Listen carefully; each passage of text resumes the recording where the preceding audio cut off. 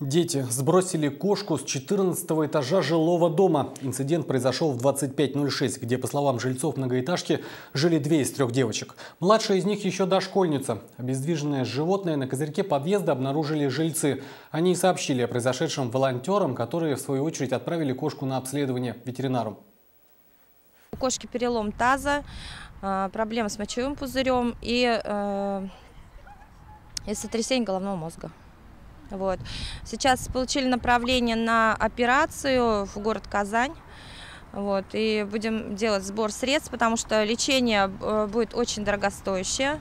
Установить личности девочек удалось благодаря камере видеонаблюдения в подъезде. На записи видно, как дети забегают в подъезд на коридорный балкон с кошкой на руках, а выбегают уже без нее, изображая при этом падение животного, размахивая руками и смеясь. Как выяснилось позже, несколько месяцев назад кошка потерялась, однако теперь ее хозяин намерен обратиться в полицию для привлечения к ответственности малолетних мучителей.